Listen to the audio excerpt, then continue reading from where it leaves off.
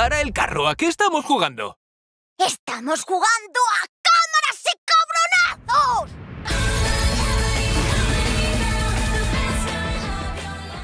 Muy buenas a todos y bienvenidos a un nuevo vídeo de FS Gamer. Hoy vamos a analizar el spin-off Tiny Tina's Wonderland, el carismático y alocado personaje que protagonizó uno de los DLCs más queridos de la saga Borderlands, donde nos veremos dentro de un mundo de fantasía medieval repleto de dosis de humor en una partida de rol dirigida por la propia Tina y con dos compañeros inéditos en la saga como Valentine y Fred. A pesar de tratarse de un spin-off, como decíamos, este juego es completamente independiente del universo Borderlands y no incluye ni necesita tener un conocimiento previo de la saga, ya que el único parecido es la estética, cel shading y poco más. Nos adentraremos en un mundo fantástico con criaturas únicas y un gameplay con sus propias mecánicas y clases inéditas. Podríamos decir que este Tiny Tina's Wonderland es la fusión de Borderlands y el DLC de Tina Chiquitina, resultando de un juego que mantiene todo lo bueno del juego original y además le añade el humor socarrón del DLC, amplificando el resultado de esta aventura independiente. Una de las cosas que es de recibo aclarar es que obviamente este Tiny Tina no es un juego de rol al uso, sino más bien una parodia continua al género, incluso dentro de la propia historia, donde Tina no para de hacer comentarios y bromas acerca de juegos de rol. Y es precisamente este humor del juego el que te atrapa. Hacía mucho tiempo que no me reía jugando a un videojuego, y es que Tina sabe perfectamente qué tecla tocar para que no solo esboces una sonrisa, sino que te rías a carcajada limpia. Es lógico que tienes que entrar en su particular sentido del humor, pero si dejas de pensar como un adulto y lo juegas como un niño grande, ese humor hace que no puedas dejar de jugarlo para llegar al siguiente chascarrillo.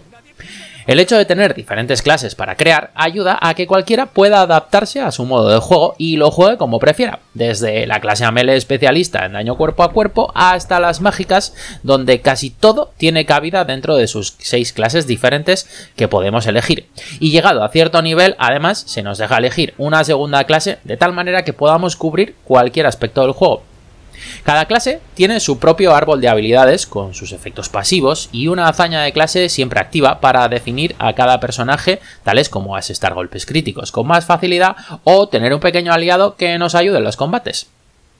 Es cierto que no abundan los juegos de tablero con mecánicas disparatadas, y este Tiny Tina cubre un vacío que no pensabas que necesitase ser cubierto, pero que saca las mecánicas del género más allá, repleto de giros de guion, trampas y bromas de humor satírico y socarrón con un gameplay divertido y que sin duda te deja con ganas de más.